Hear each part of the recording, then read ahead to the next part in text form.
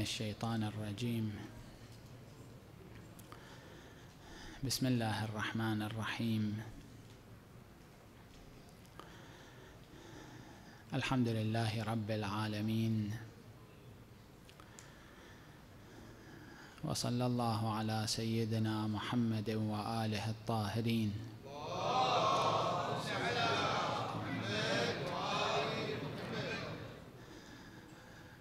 ولعنة الله على أعدائهم أجمعين إلى يوم الدين.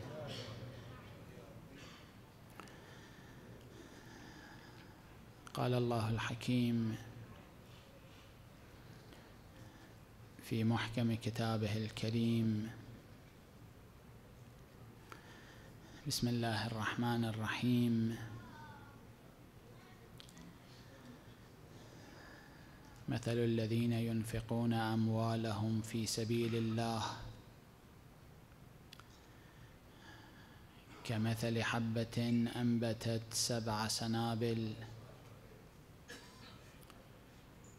في كل سنبلة مائة حبة. والله يضاعف لمن يشاء. والله واسع عليم.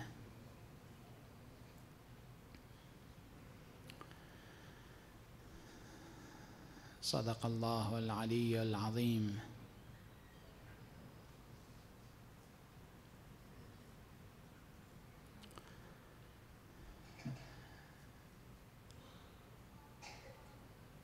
ثلاثة مطالب في الإنفاق.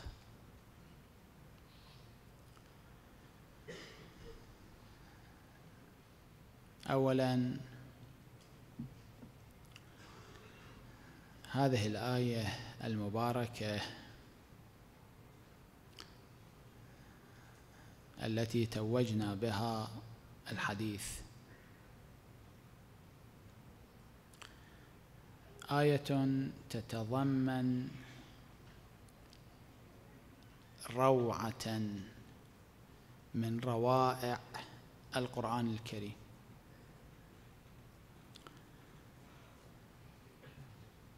هذه الآية المباركة شبهت المنفقين في سبيل الله بالحبة التي تتكاثر.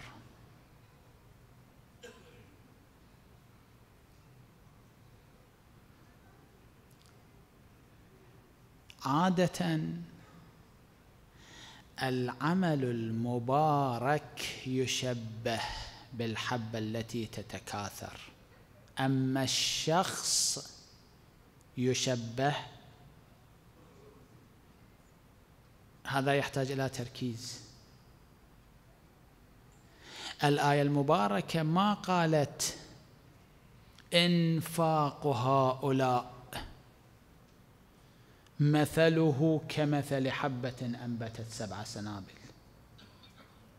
قالت هم مثلهم كمثل حبة. مثل الذين ينفقون أموالهم في سبيل الله كمثل حبة. شبهتهم الشخص يشبه بالشخص العمل يشبه بالحبة. هذه الآية المباركة شبهت الأشخاص شبهت المنفقين أنفسهم بالحبة التي تتكاثر تتوسع. ما الوجه في ذلك؟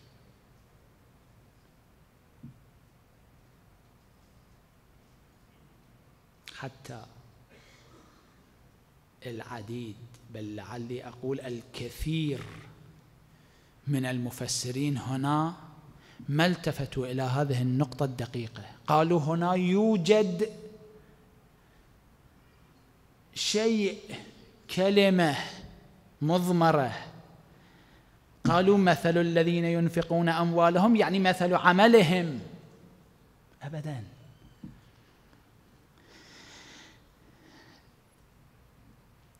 من وجوه هذا التشبيه الغريب الإنسان لا يتوسع. الإنسان لا يتكاثر. عمله أثره يتوسع. لماذا هنا شبه القرآن الكريم المؤمن بال المؤمن المنفق بالحبة التي تتكاثر؟ من وجوه ذلك؟ أن عملك انعكاس طبيعي لوجودك. سببا ومسببا تاثيرا وتاثرا يعني من الجانبين.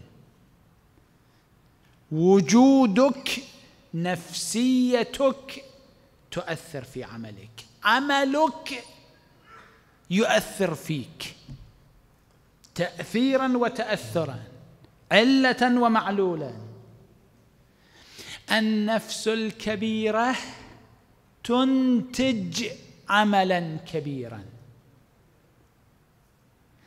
العمل الكبير ينبئ وينبع عن نفس كبيرة.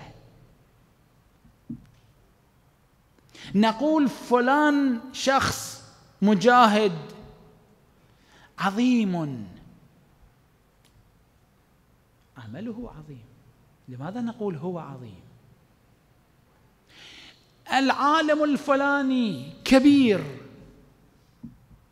عمله كبير. عندما يكون العمل كبيرا معنى ذلك أن مصدر هذا العمل هو الشخص كبير. أن النفس التي خرج منها هذا العمل الكبير نفس كبيرة.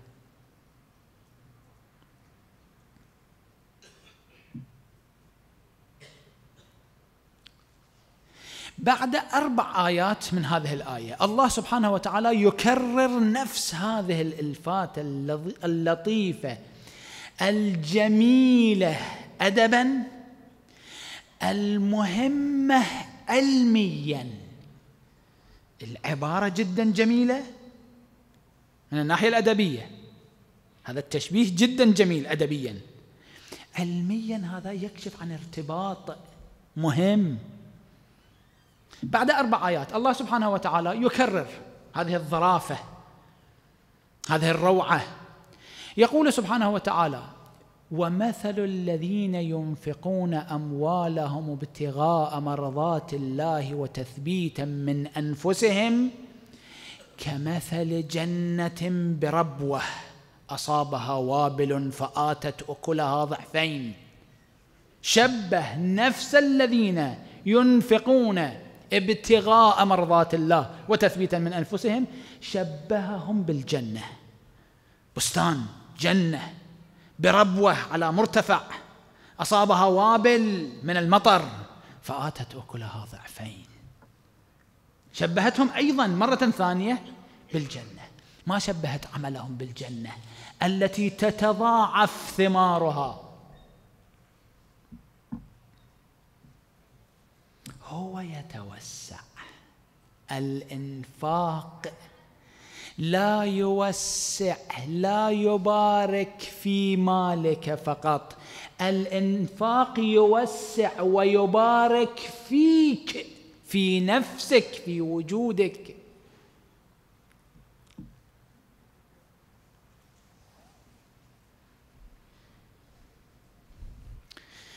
هذه آية في الإنفاق. آية قرآنية أخرى في الإنفاق. تكشف جانبا آخر. ويؤسفني أن أقول تكشف جانبا سيئا في حياة البشر. آية الخمس. واعلموا أن ما غنمتم من شيء فأن لله خمسه وللرسول ولذي القربى واليتامى والمساكين وابن السبيل. الله سبحانه وتعالى يبين في هذه الآية المباركة واقعا تشريعيا.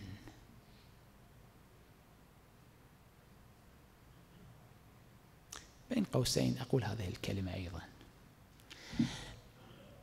هذه الآية المباركة هل أمرت بالخمس؟ بدفع الخمس؟ تجدون كلمة أمر في هذه الآية المباركة خمسوا غير موجودة. هذه الكلمة غير موجودة خمسوا غير موجودة.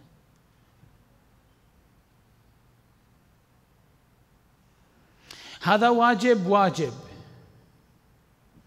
كيف بين الله سبحانه وتعالى هذا الواجب في هذه الآية؟ بعض الواجبات الله سبحانه وتعالى بينها بالأوامر. أقم الصلاة أمر. ادع إلى سبيل ربك بالحكمة أمر. ادعو أمر. في هذه الآية المباركة الله سبحانه وتعالى ما أمر إنما بين مصدر الأمر. الله سبحانه وتعالى ما قال خمسوا أموالكم قال الخمس ليس لك أصلا.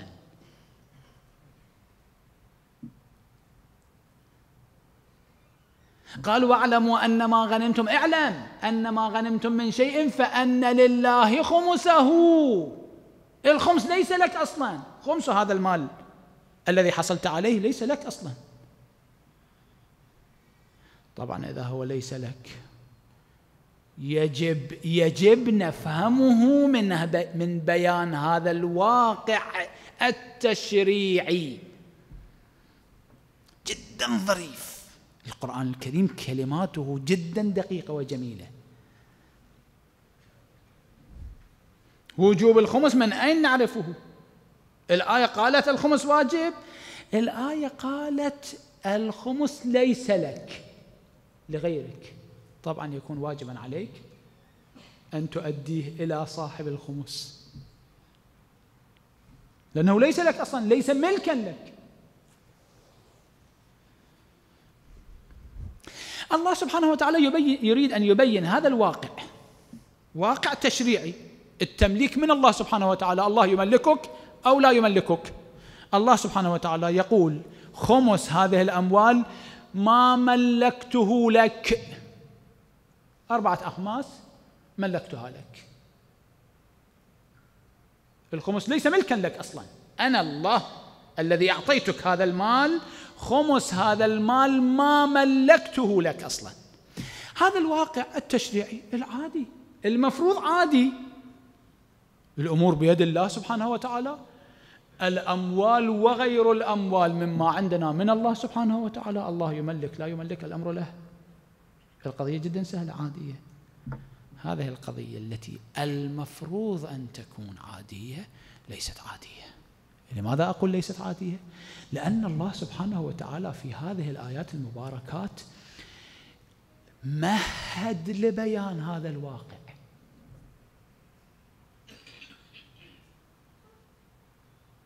قدم مقدمات لبيان هذا الواقع. البشر لا يتحمل. يحتاج إلى مقدمات حتى يفهم هذا الواقع.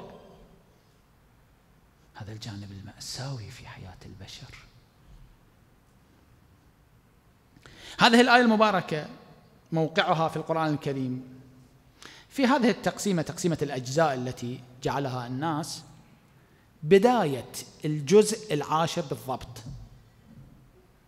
الآية الواحدة والأربعون من سورة الأنفال. قبل هذه الآية بأكثر من عشر آيات الله يمهد لهذا المعنى. في الآية الثامنة والعشرين من هذه الآية من هذه السورة المباركة سورة الأنفال الله سبحانه وتعالى يبدأ بتهيئة نفسية الإنسان لقبول هذا الواقع. ماذا يقول؟ يقول واعلموا أنما أموالكم وأولادكم فتنة. انتبه كن يقظا. افهم. الأموال والأولاد فتنة امتحان. لا تسقط في هذا الامتحان. بعد ذلك في الآية التالية الله سبحانه وتعالى يمهد تمهيدا ثانيا. يبين أهمية الخوف من الله سبحانه وتعالى التقوى. يقول يا أيها الذين آمنوا إن تتقوا الله يجعل لكم فرقانا تقوى. كن خائفا من الله سبحانه وتعالى. تمهيد ثاني. تمهيد ثالث بعد آيات. الله سبحانه وتعالى يبين إنفاق الكفار والآثار السلبية السيئة عليهم بالإنفاق الذي ينفقونه ليصدوا عن سبيل الله. إن الذين كفروا ينفقون أموالهم ليصدوا عن سبيل الله. فسينفقونها ثم تكون عليهم حسرة. ثم يغلبون. والذين كفروا إلى جهنم يحشرون. ليميز الله الخبيث من الطيب ويجعل الخبيث بعضه على بعض فيركمه جميعا فيجعله في جهنم. بعد هذه التمهيدات إلى أن يصل إلى هذه الآية المباركة يبين هذا الواقع التشريعي. اؤكد هذا واقع تشريعي يستفاد منه الوجوب.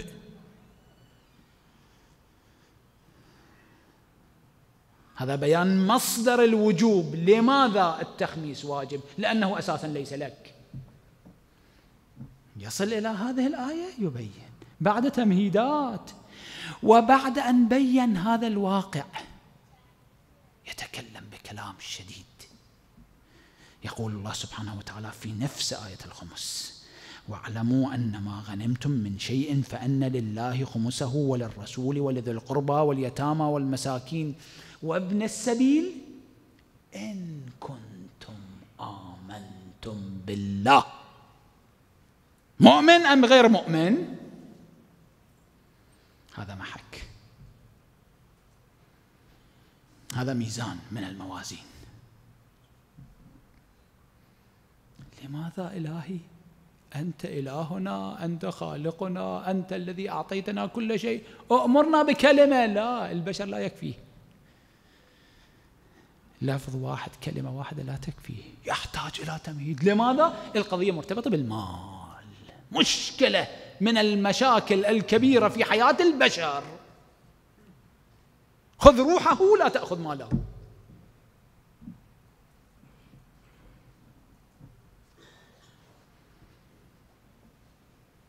هذه الآية تبين جانبا مأساويا في حياة البشر وتحبون المال حبا جما.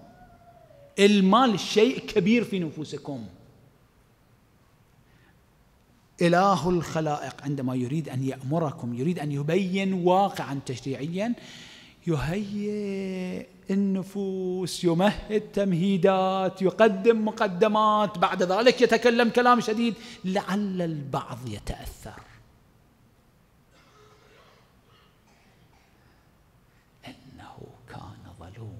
جهولا أي جهل هذا؟ الله تفضل علي. أعطاني أربعة أخماس. وقال خمس ما أعطيتك ليس لك. صعب.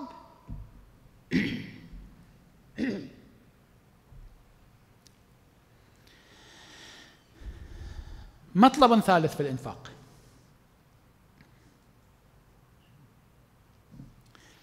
فقير. مدقع. بصعوبة يوفر أوليات ما يحتاجه من الأمور المادية. في المقابل غني يملك أموال طائلة. متخم بالأموال لا يعرف كيف يتصرف في هذه الأموال. هذا الوضع في مجتمع واحد. وضع خطر باتفاق كل البشر. أنا ما عندي إحصائيات عن الاتفاق ولكن القضية قضية واضحة بديهية.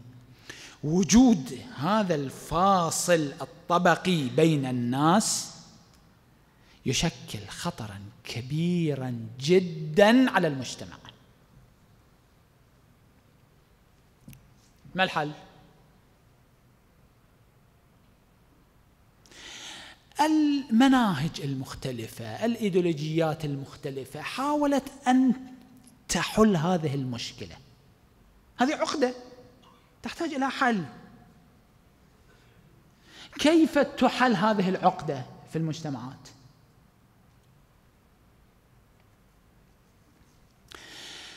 الاشتراكية جاءت بحل. ما هو حل الاشتراكية؟ نفي ملكية الفرد. خلاص. هذا الحال ناهيك عن أنه سفاهة. ناهيك عن أنه خلاف الوجدان. هو خلاف العقل. لا أقول عقل يعني عقلي يعني تصوراتي. لا خلاف الدليل العقلي.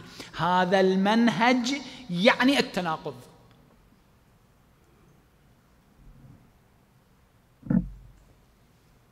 في الكتب المفصلة كتبوا عن ذلك. يستلزم التناقض. أصلا هذه الفكرة تستلزم التناقض. تناقض فكري. استحالة استحالة عقلية.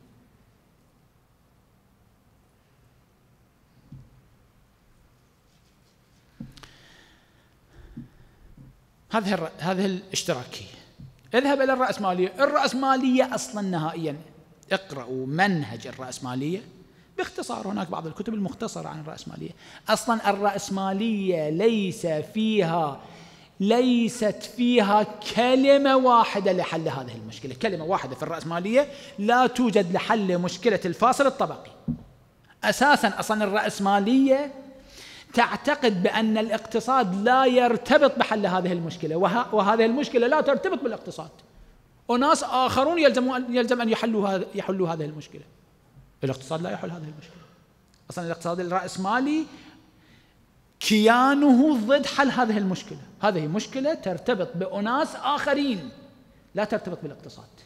نهائيا في الاقتصاد الرأسمالي لا توجد كلمة لحل مشكلة الفاصل الطبقي في المجتمع. تعلمون الفاصل الطبقي مشكلة جدا كبيرة.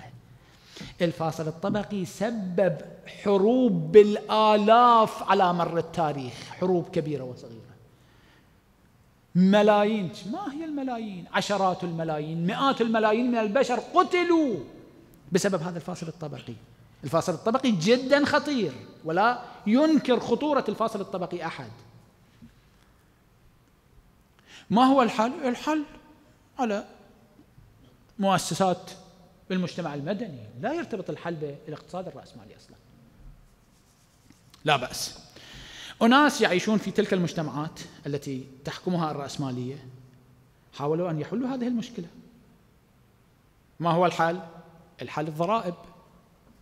ضرائب تؤخذ من أثرياء تعطى لفقراء. هذا يجعل الفاصل بين الطبقتين فاصل أقل.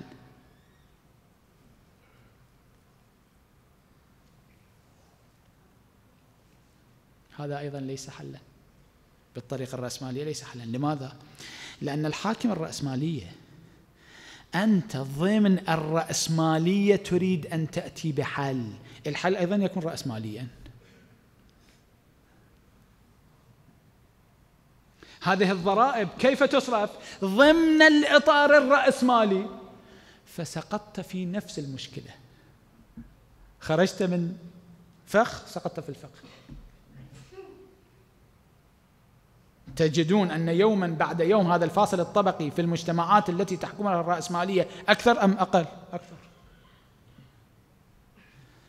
مقتضى الرأسمالية هذا الوضع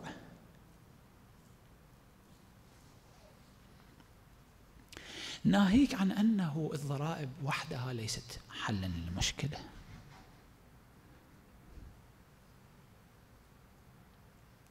لماذا؟ لأنه البشر يحتال. اجعل ضرائب. يحتال.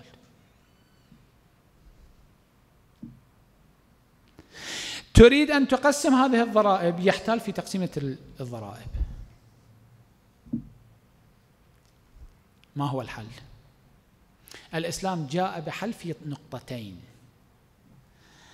الضرائب قننها. الزكوات الأخماس غير ذلك. مع الضرائب جعل تفهيما تفهيم للناس بأهمية الإنفاق. يعني ما جعل الإنفاق جبرا. ما أجبر الناس على الإنفاق. إذا كنت مجبورا تحتال. إذا فهمت المعادلة لا تحتال. كم من الآيات القرآنية بينت جوانب الإنفاق المهمة؟ بالآية المباركة التي بدأنا بها الحديث. بينت جانبا مهما في في الإنفاق. تشجيع تفهيم. رسول الله وأمير المؤمنين صلوات الله عليهما وآلهما اللذان طبقا هذا الإسلام. أجبر شخصا واحدا على على دفع الضرائب ابدا. قبل أسابيع قرأت لكم الحديث الشريف. المفصل. عندما أمير المؤمنين عليه الصلاة والسلام أرسل مصدقا مصدق يعني الذي يجلب الزكوات والصدقات. ماذا وصاه؟ في بدايات وصيته له كان يقول اسأل من الشخص. عليك في مالك الزكاة؟ فإن قال لك قائل لا فلا تراجعه. مرة ثانية لا تسأله. خلص انتهى. طبعا الحكم الذي لا نظير له في التاريخ هذا الصحيح. تريد أن تجبر الناس على الإنفاق. يا أخي الإنفاق بمقدار ما هو فائدة كبيرة للثري والغني ليس هو ليست هذه الفائدة موجودة للفقير في الإنفاق. يعني الثري عندما ينفق هذا المال يعطى للفقير الفقير استفاد. لا الفائدة الكبرى للغني ليس للفقير. الفقير يحصل على أموال. أمور مادية تكون أمور مرتبة إلى حد ما. الغني هو المستفيد الأكبر من إنفاقه. الغني يتوسع الغني نفسه ترتقي. الناس يدفعون أموال ليتعلموا. للعلم الناس ينفقون اموالا. هذا إنفاق لا للتعلم لشيء أعظم من التعلم للتزكية. التزكية شيء أعظم من التعلم.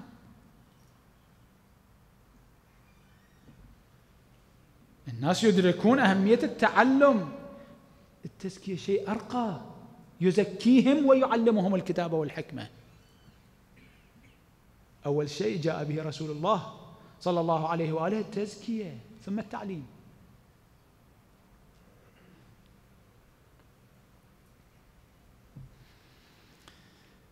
الضرائب عدم جبر أحد تفهيم الناس على الضرائب. خلاصة القول ثلاث نقاط. اولا. الجانب المأساوي في حياة البشر. الإنفاق شيء صعب.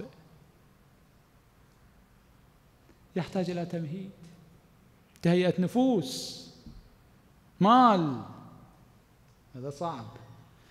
مازال الأقدام. ثانيا الإنفاق لا ينمي أموالك فقط ينميك أيضا.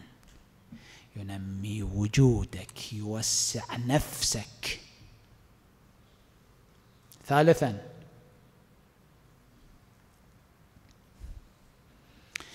الإنفاق مع عدم جبر الناس على الإنفاق حل لمعضلة كبيرة اجتماعية. هذه المعضلة الكبيرة التي اسمها الفاصل الطبقي. هذه المعضلة معضلة اقتصادية معضلة أمنية. هذه المعضلة تخل بالآمن. تخل بالأمن البشري تخل بالأمن الاقتصادي. هذه المعضلة حلها. الضرائب مع عدم جبر الناس على الضرائب. تفهيم الناس. الذي يريد أن يعطي يعطي. الذي لا يريد أن يعطي لا يعطي. أختم كلامي بقضية. هذه القضية لعلي لعلي ذكرتها سابقا باختصار. قضية حدثت في هذا البلد. أحد المؤمنين كانت بينه وبين المؤمنين في هذا البلد. كانت بينه وبين شخص حسابات. ذاك الشخص كان مديونا لهذا المؤمن. بمبلغ. عليه دين. جاءني جاءني المديون.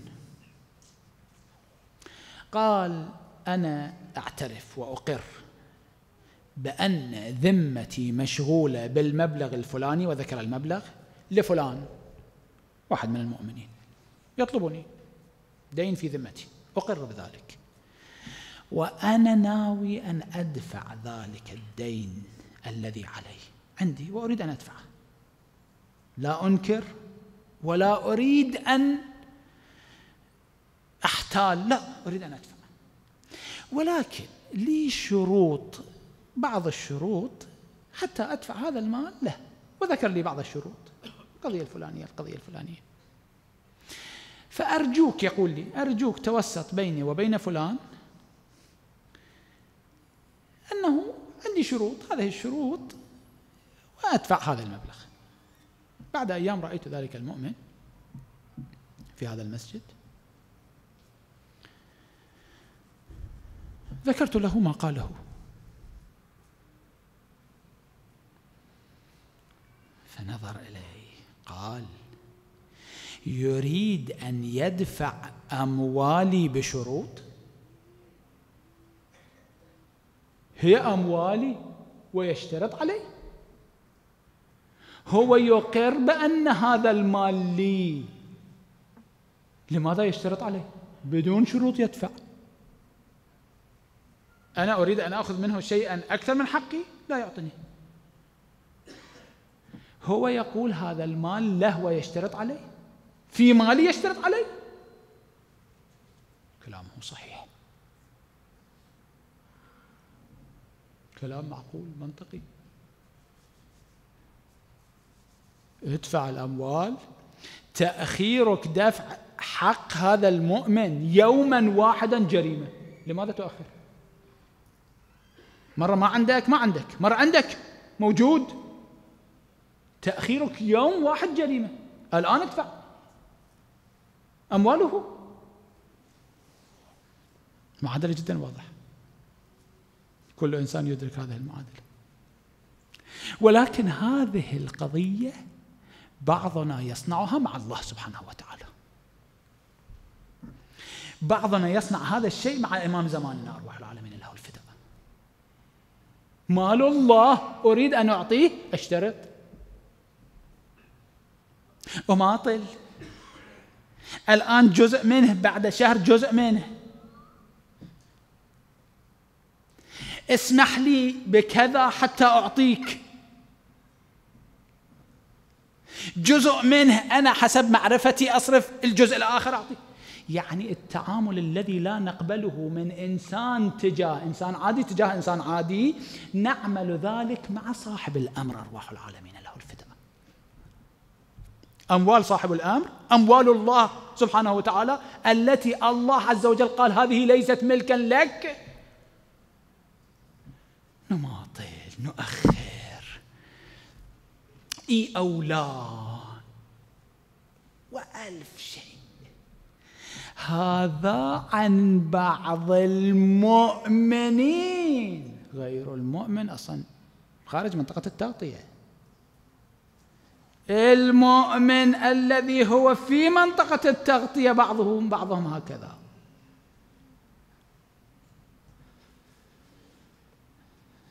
المال. هذا الشيء الذي المفروض أن البشر يكون عنده شيئا عاديا هكذا شيء.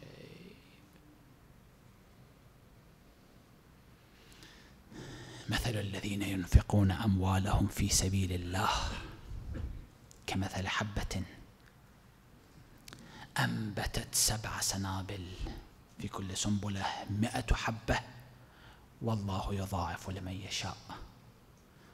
والله واسع عليم. اللهم صل على محمد وآل محمد وعمر قلبي بطاعتك ولا تخزني بمعصيتك. وارزقني مواساة من قدرت عليه من رزقك بما وسعت علي من فضلك ونشرت علي من عدلك وأحييتني تحت ظلك. اللهم صل على محمد وآل محمد وعجل اللهم فرج مهدي آل محمد. اللهم صل على